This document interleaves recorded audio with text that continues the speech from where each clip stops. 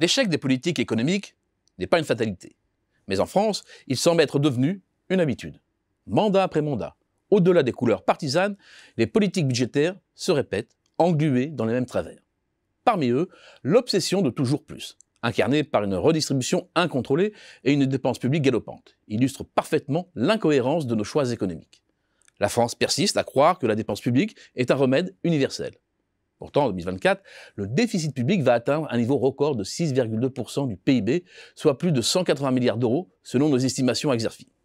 Pierre Moscovici, président de la Cour des comptes, alerte sur cette situation inédite et insoutenable. Ce toujours plus de redistribution se traduit par des aides mal ciblées et des subventions inefficaces qui pèsent sur les finances publiques sans résoudre les inégalités.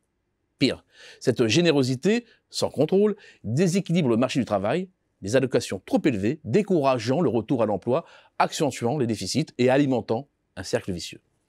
L'incapacité à réformer aggrave ce tableau.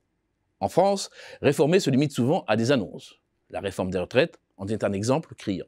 Au lieu de répondre aux défis démographiques, avec une population des 65 ans et plus amenée à peser de plus en plus lourdement sur les 20-64 ans, c'est-à-dire ceux en âge de travailler et de cotiser, elle a suscité une crise sociale, laissant intact le problème de fond. Cette politique du compromis, voire de l'évitement, condamne le pays à répéter ses erreurs. Alors que la France s'enferme dans ses querelles idéologiques, d'autres pays avancent. On s'étonne alors de voir une économie comme l'Italie redynamiser leur industrie grâce à des réformes fiscales, des politiques ciblées sur les secteurs manufacturiers et les petites entreprises et des investissements dans l'innovation. Bilan, l'Italie dégage non seulement un solde extérieur positif, mais des montagnes d'excédents.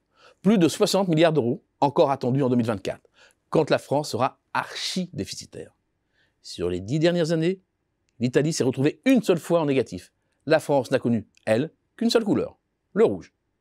À chaque choc, la priorité de l'Allemagne et des États-Unis est toujours de regagner des avantages compétitifs. Pendant ce temps, les aides mal ciblées, la taxation excessive, notamment les impôts de production, freinent nos entreprises, accentuant la désindustrialisation et le retard dans les secteurs stratégiques. Pour rappel, les impôts de production constituent une catégorie spécifique de prélèvements assis non pas sur le résultat, mais sur les moyens de production.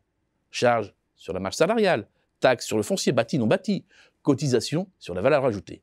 Il représentait en 2023 une manne de 130 milliards d'euros pour l'État, dont 70% est acquitté par les entreprises, soit 3,1% du PIB. C'est nettement au-dessus de la moyenne de l'UE, de la zone euro ou de l'Allemagne. En France, l'échec des politiques économiques est souvent maquillé par un autre dogme, celui de l'impôt réparateur. Face aux excès de la redistribution et de la dépense publique, on croit qu'une taxation accrue viendra équilibrer les comptes. On oublie alors que l'augmentation ou la redistribution de pouvoir d'achat ne fera que déséquilibrer encore davantage le commerce extérieur. L'économie française ne peut pas dépenser plus qu'elle ne gagne ou ne produit.